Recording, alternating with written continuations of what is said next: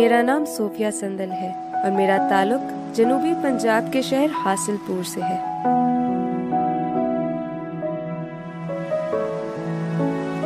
बचपन से ख्वाहिश थी कि मैं डॉक्टर बनकर अपने इलाके के लोगों की खिदमत करूँ।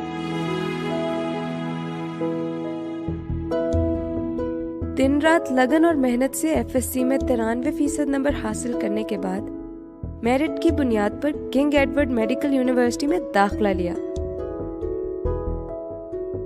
छोटी सी दुकान से घर और सात बहन भाइयों की मौजूदगी में लाखों रुपए के तालीमी अखराज उठाना नामुमकिन था।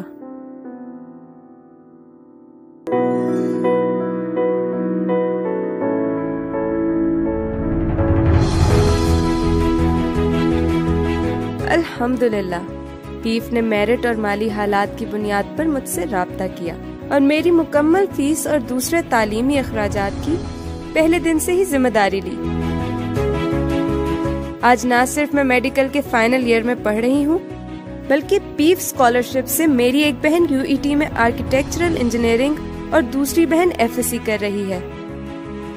2008 में शुरू किया गया पंजाब एजुकेशनल इंडोमेंट फंड जिसकी मौजूदा मालियत 18 अरब रुपए है। इस फंड से पाकिस्तान के बेहतरीन कॉलेजेस और यूनिवर्सिटीज में जेर तालीम, पंजाब और बाकी सूबों के साढ़े तीन लाख तलबा और तालिबात के तालीमी अखराज अदा किए जा रहे हैं। अब वसाइल की कमी मेहनत और कामयाबी के दरमियान हायल नहीं होगी।